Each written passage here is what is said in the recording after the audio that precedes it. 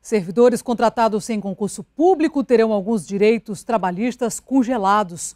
A decisão afeta cerca de 11 mil trabalhadores no Acre.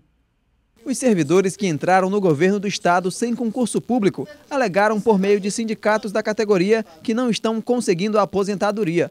A informação mobilizou a Central Única dos Trabalhadores, a CUT, e até deputados. A pressão fez com que o governo, por meio de um porta-voz, se pronunciasse sobre o assunto. O Tribunal de Contas do Estado alegou que não impede que esses trabalhadores se aposentem, quando o Ministério Público do Trabalho apontou que esses funcionários deveriam ser demitidos na década de 1990, eram 11 mil pessoas.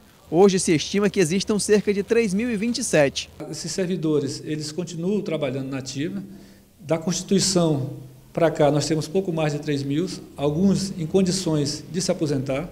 Então, a gente é, recomendo, inclusive, que aqueles que tiverem idade de se aposentar, que procurem seu órgão para se aposentar. Mas os sindicatos alegam que o governo retirou alguns benefícios, como a mudança de letra, gratificações, férias, licença-prêmio e a progressão funcional. O governo admitiu que as pessoas enquadradas nessa situação não estão conseguindo a progressão de carreira devido à decisão do STF do início do ano passado impedir esse benefício. Quanto aos outros direitos, o governo alega que não foram retirados.